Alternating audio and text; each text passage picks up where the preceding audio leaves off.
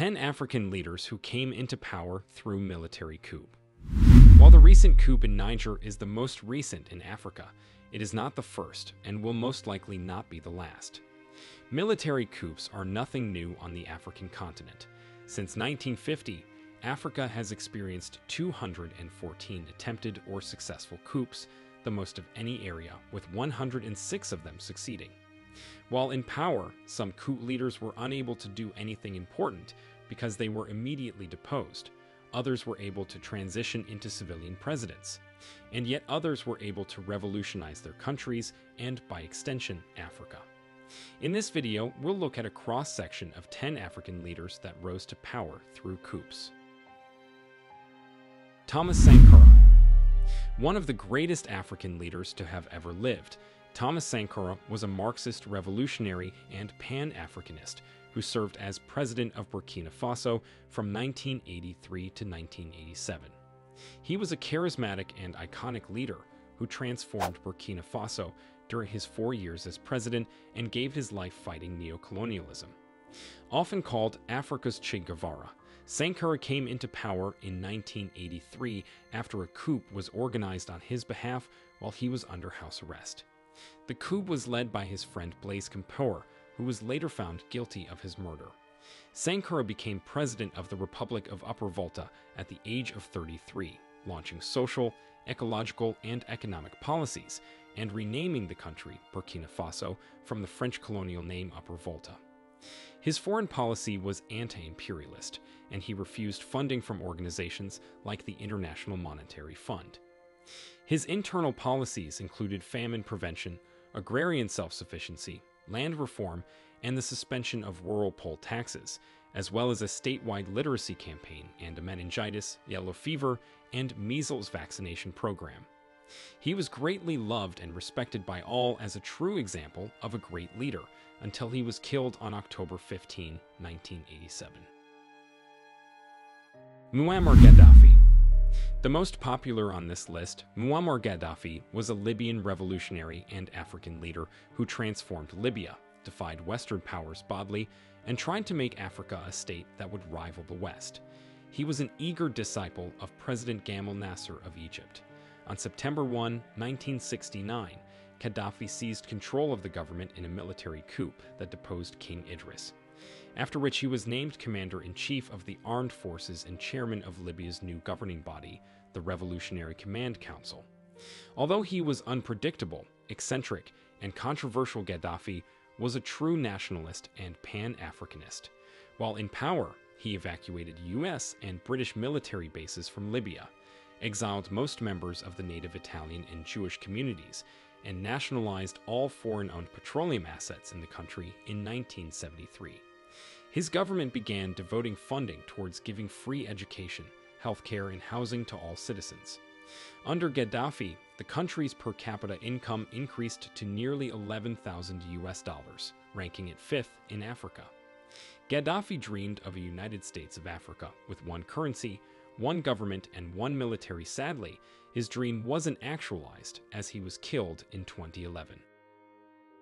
Ibrahim Traore Currently, the youngest serving president in the world, Ibrahim Traore has been the interim leader of Burkina Faso since the 30th September 2022 coup d'etat, which ousted interim President Paul Henri Sandaogo Damiba. Prior to this coup, Traore was part of the group of army officers that supported the January 2022 Burkina Faso coup d'etat that brought Paul Henri Damiba into power. Under the new government, little improvement was seen by many members of the military. Those stationed in remote areas often did not receive their pay on time. In mid September 2022, 11 soldiers were killed in the north of the country by insurgents.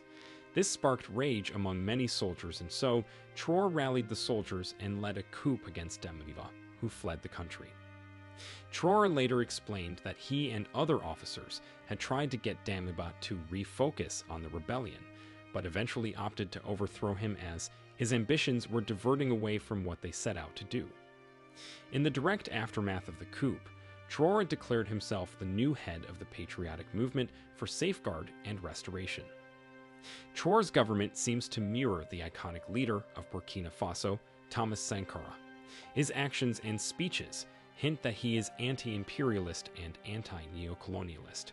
Like Mali and Guinea presidents, he expelled French forces assisting in fighting the local insurgency from Burkina Faso and supported the diversification of Burkina Faso's international partnerships. Yoweri Museveni President Museveni became president of the Republic of Uganda on January 29, 1986 after leading a successful five-year liberation struggle. Previous to the struggle of 1981 to 1986, Museveni had been one of the leaders in the anti-Amin resistance of 1971 to 1979 that had led to the fall of that monstrous regime. When Idi Amin came to power in Uganda in 1971, Museveni returned to Tanzania in exile. There he founded the Front for National Salvation, which helped overthrow Amin in 1979. Museveni held posts in transitional governments and in 1980 ran for president of Uganda. When the elections, widely believed to have been rigged, were won by Milton Obote Museveni and former President Yusufu Lule formed the National Resistance Movement, NRM. Museveni led the NRM's armed group, the National Resistance Army, which waged a guerrilla war against Obote's regime. The resistance eventually prevailed, and on January 26, 1986, Museveni declared himself president of Uganda. On January 29th, he was sworn in as president, and during a ceremony, he said that this is not a mere change of guard, it is a fundamental change. Since 1986, Museveni has been the president of Uganda, making him the longest serving president in Uganda. As president, Museveni has helped to revitalize the country and provide political stability, a growing economy, and an improved infrastructure. He has also instituted a number of capitalist reforms, supported a free press, and implemented measures to combat AIDS.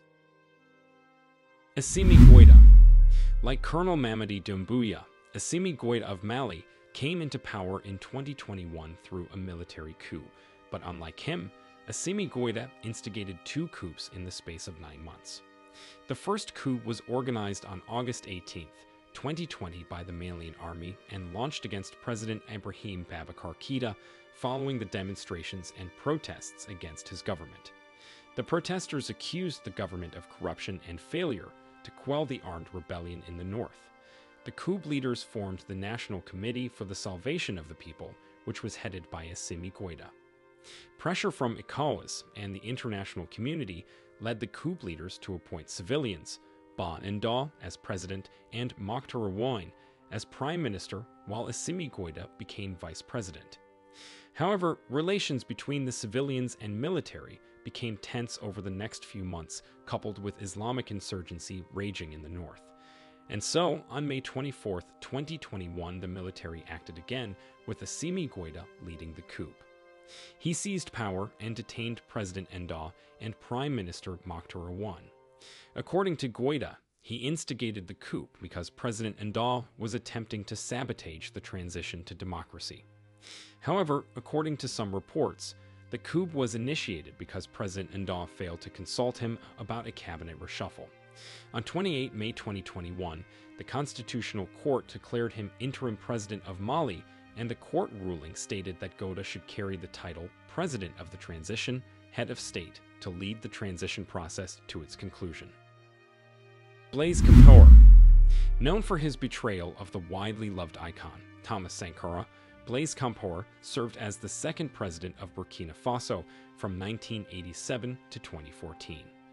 In October 1987, he led a coup d'etat with Jean-Baptiste Lingani and Captain Henri Zongo, during which Sankara, who was president at the time, was killed, although he claimed that it was not intentional. Zongo and Lingani held prominent positions in the regime until 1989, when, after disagreeing with Compaore over economic issues, they were accused of plotting against him and were subsequently executed, leaving Compaore free to follow his own agenda. While in power, he introduced a policy of rectification, overturning the leftist and third worldist policies pursued by Sankara. He won elections in 1991, 1998, 2005, and 2010 in what was considered unfair circumstances, making him the longest serving president in Burkina Faso. He attempted to amend the constitution to extend his 27 year term, However, it failed and led to the 2014 Burkinabe uprising. On 31 October 2014, Compaoré resigned, whereupon he fled to the Ivory Coast. Eight years later, he was found guilty by a special military tribunal of complicity in Sankara's murder and sentenced to life imprisonment. Jerry Rawlings Jerry Rawlings, former head of state and president of the Republic of Ghana, is one of the most admired African leaders, both in Africa and beyond, for his charisma, sincerity, drive, patriotism, and participatory leadership approach. He is known for his anti corruption credentials, was seen as a champion for the poor, and was able to revive Ghana's failing economy. He led two coups. The first was in 1979, with the purported aim of purging the military and public life of widespread corruption. He and his Armed Forces Revolutionary Council ruled for 112 days, during which time the former heads of state, Gen Ignatius Kutu Acheampong and Lieut. Gen Frederick W.K. Akuffo, were tried and executed. Rawlings then yielded power to a freely elected civilian president, Hilla Limann. The second coup was on December 31, 1981, after two years of weak civilian rule during which Ghana's economy continued to deteriorate. Rawlings overthrew Limann's government, accusing it of leading the nation down to total economic ruin. He then established a Provisional National Defense Council as the new government and imprisoned Limann and some 200 other politicians. He led the country as a military junta from 1981 until introducing multi party elections in 1992, when he was first elected president.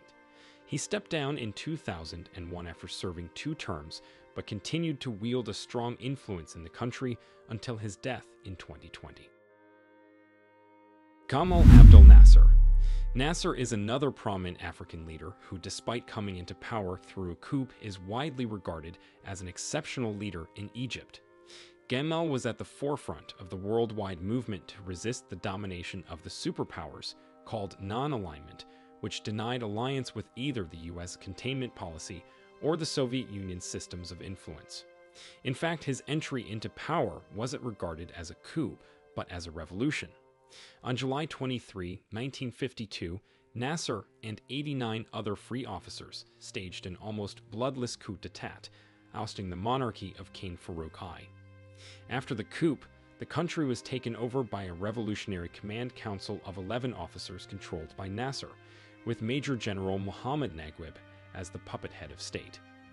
For more than a year, Nasser was behind the scenes controlling things, but a series of intrigue brought him out of the shadows, and he declared himself prime minister and later president of Egypt after the elections in 1965. As he took control, Egypt's prospects began to look bright. He nationalized the Suez Canal, built the Aswan High Dam, accelerated industrialization, and even gave voice to women. He was truly an exceptional leader and will forever be remembered in Egypt. Denis Sassou Nguesso President Denis Sassou of the Republic of Congo has been the current leader of Congo since 1997 till date, although that was not the first time he came into power. The president first came into power in 1977 after Marien Ngouabi, the president at the time, was assassinated. History is not really certain about who assassinated Ngouabi. While official media stated that the assassination was conducted by a commando group led by Captain Barthélemy Kikadidi, some others claimed that the assassination was plotted by military officers within the close circle of power. So, it's not exactly clear if Denis was involved in the assassination, but regardless, a military committee of the Congolese Labour Party, composed of 11 officers, led by Major Sassou Nguesso, immediately took power and repealed the 1973 constitution, with Sassou acting as interim head of state from 18 March to 6 April 1977. He then conceded his position to General Joachim Yhombi Opango, who became president.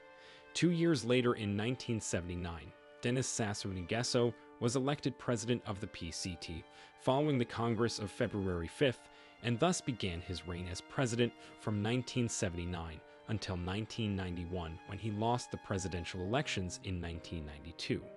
He came back again as head of state after he won the 1997 elections, repealing the 1992 Constitution and replacing it with a fundamental act that concentrated power in the president's hands. Since 1979, when Sassou first came into power till date, he has been in power for an accumulated 36 years, making him one of the longest serving presidents in Africa. Colonel Mamady Doumbouya Colonel Mamady Doumbouya is the current serving president of Guinea who came into power in 2021 through a coup d'etat instigated by him and in which the president of Guinea, Alpha Conde, was detained without violence. Prior to the coup, Mamady Doumbouya had served in the military for 15 years, where he was first a French legionnaire, holding the rank of corporal before he returned to Guinea to lead the Special Forces Group, an elite military unit created by President Alpha Conde. In 2018, he met Assimi Goita from Mali in Burkina Faso at a U.S. Army training session for regional special forces commanders, and a few years later, both he and Assimi Goita would later launch military coups against their governments. After the coup, Doumbouya issued a broadcast on state television declaring that his faction had dissolved the government and constitution and announced that they had seized power because of rampant corruption, a disregard for human rights, and economic mismanagement by Conde and his administration. The Conde administration was also accused of nepotism and tribalism. In justifying the military's actions, Doumbouya quoted the former Ghanaian president Jerry Rawlings, who said that if the people are crushed by their elites, it is up to the army to give the people their freedom. The coup was widely welcomed among the vast majority of Guineans. Since he was sworn in as interim president, Doumbouya has clamped down on corruption in the country, trimmed the army's senior ranks, and promoted younger fellow officers, and also has plans to move the country to civilian rule.